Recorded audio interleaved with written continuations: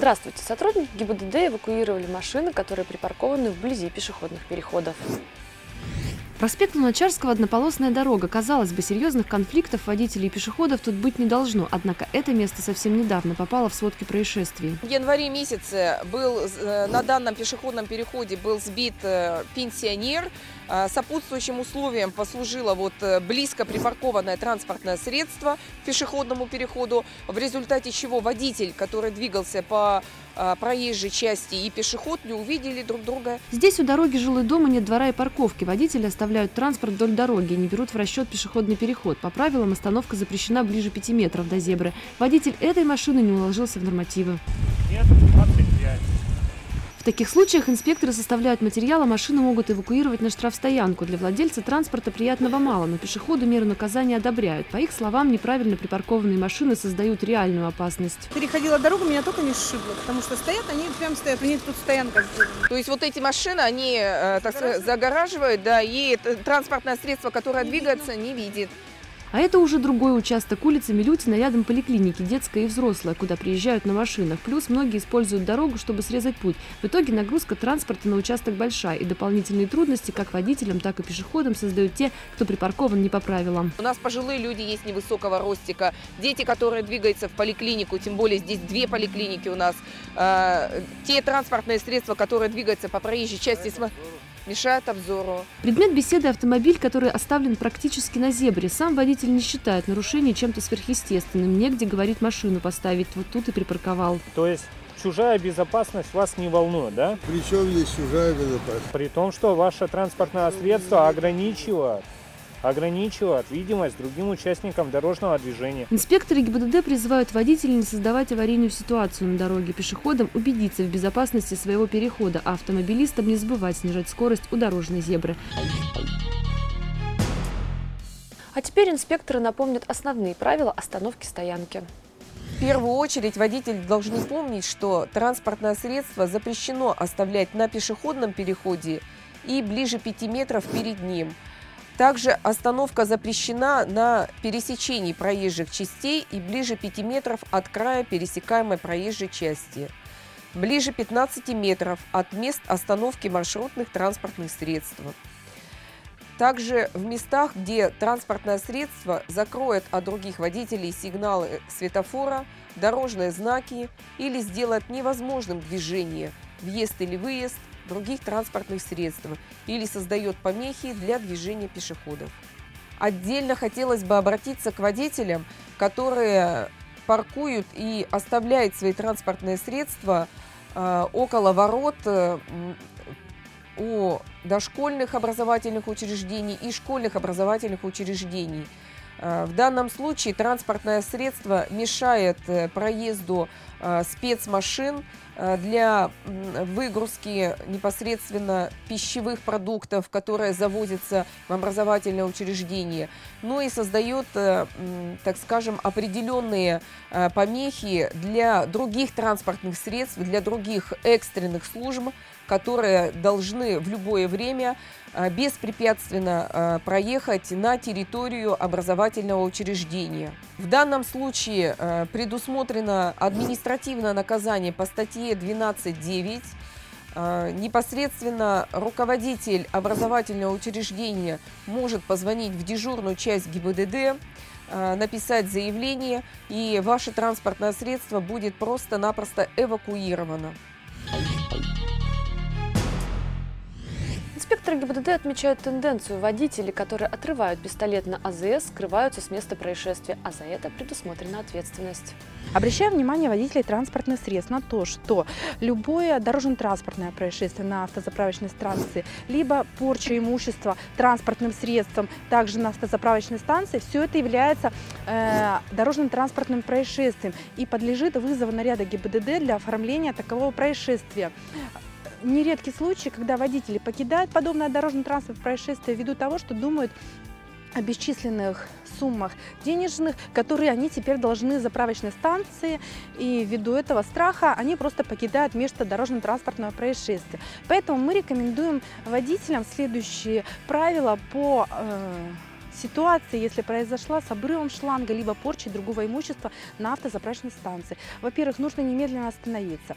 Если же бывают все-таки случаи, когда водитель ну, попросту не заметил, что оборвал заправочный шланг или какое-то имущество попортил, то есть если он э, впоследствии в движении уже заметил, что из горловины бака, допустим, торчит пистолет, то нужно необходимо вернуться, то нужно незамедлительно вернуться на ЗС, сообщить это сотруднику автозаправочной станции, если же он такого еще не заметил.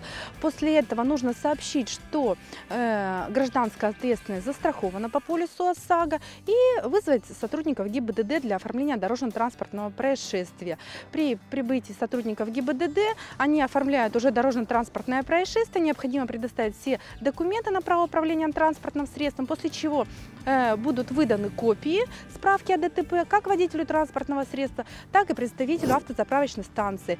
И уже всю сумму ущерба автозаправочная станция будет возмещать через страховую компанию. То есть сам водитель ничего не должен. Поэтому все-таки рекомендую не уезжать с подобных дорожно-транспортных происшествий, а вовремя сообщать как представителям АЗС, так и сотрудникам ГИБДД.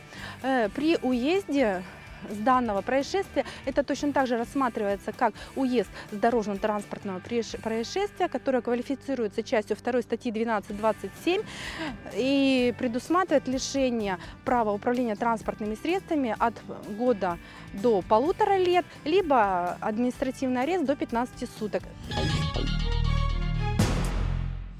На улице холодно, сотрудники МЧС готовы к нестандартным ситуациям. А вот знают ли водители, как собраться в дальнюю поездку по трассе, узнавали пожарные. В частности, проверить техническое состояние. она исправна. Еще что с собой взять? Что взять? Теплые вещи надо брать? Конечно. Ну, будем брать. А какие сапоги, там, валенки? Все, видите, все, все утеплено. Ну, лучше валенки как бы иметь, на всякий случай. Ну, я думаю, да. А телеф- телефон с собой Я думаю, нужен? Аптечку, аптечку, да? Аптечку, Первые да. меры. При- Что там? Теплый, ну, я не знаю, может, термос с чаем? Термос, конечно, да. Из-за неблагоприятных погодных условий в МЧС приняли решение развернуть мобильные пункты обогрева на автомобильных трассах. Их три. Один пункт располагается на 16-м километре автодороги Тотьма-Нюксеница-Великий Устюг. Второй на участке трассы Урень-Шарья-Никольс-Котлас. Еще один пункт обогрева и питания появился накануне на 246-м километре трассы Вологда-Новая Ладога. В палатке установлены 5 коек, но при необходимости можно поставить еще 5. Напомним, подобные пункты предназначены для оказания помощи водителям и пешеходам, которые попали в затруднительную ситуацию на автодороге. Пока ситуация в регионе стабильная. Ну а прямо сейчас сводка новостей от администраторов группы ДТП Череповца. Опять 25. Водители останавливаются в неположенном месте. И снова перекресток Победы Первомайская. Водители дружно в ряд встали там, где нельзя. Автолюбители забывают о том, что возле трамвайных путей находится всего лишь дублирующий светофор. Таблички «Стоп» рядом с ним нет. А значит, проехать нужно дальше, до светофора, который расположен уже на проспекте Победы. Если в процессе движения с улицы Первомайской у вас загорается красный сигнал светофора, следует пересечь трамвайные пути и остановиться уже за ними, около светофора со стоп-линией. Парковки зимой – это бесконечная тема. Центральные улицы из-за обильных снегопадов сужены до предела. Что уж говорить о парковках. Участники группы ежедневно присылают фото и видеоматериалы с автомобилями, брошенными кое-как. Так, на одной из улиц оставленный автомобиль вообще занял целую полосу, затруднив движение на этом участке. Часто приходят сообщения о ситуации на Кирилловском шоссе, где около магазина порой появляется второй и даже третий ряд припаркованных машин. Объективно такие водители оставляют лишь одну полосу для движения. А в одном из дворов в Заречье водитель заставил целый час мерзнуть маму с ребенком. Женщине, чью машину заблокировал внедорожник, после часовых попыток связаться с таким соседом, все же пришлось отправиться в детский сад своим ходом. Совпадением стало то, что только после этого горе-водитель все-таки вышел и переставил свое транспортное средство. Есть и веселые случаи, кто как борется за парковку на суровых заснеженных череповецких улицах. Вот, например, не самый плохой вариант занять расчищенное место. Ничего особенного, это просто табурет. А вот водителя Нивы автор фото почти упрекнул, что тот выбросил вполне еще нормальный автомобиль. Ну а вслед за сугробами на Череповец обрушились морозы. Нужно отметить, что температура в минус 26 градусов – это не аномальная температура для февраля. Стоило термометру показать низкие температуры, все автомобильные неисправности дали о себе знать. В городе то и дело на дорогах встречаются машины, передвигающиеся на трассах, водители с растянутыми проводами для подзарядки аккумуляторов. И, конечно, в группе сразу появляется миллион просьб помочь завести замерзший автомобиль. Радует, что большинство водителей не унывает, ведь зима закончилась и наступила, пусть пока еще и календарная, но уже весна. Зимние соревнования по картингу Кубок Череповца состоялись у воспитанников спортивной школы.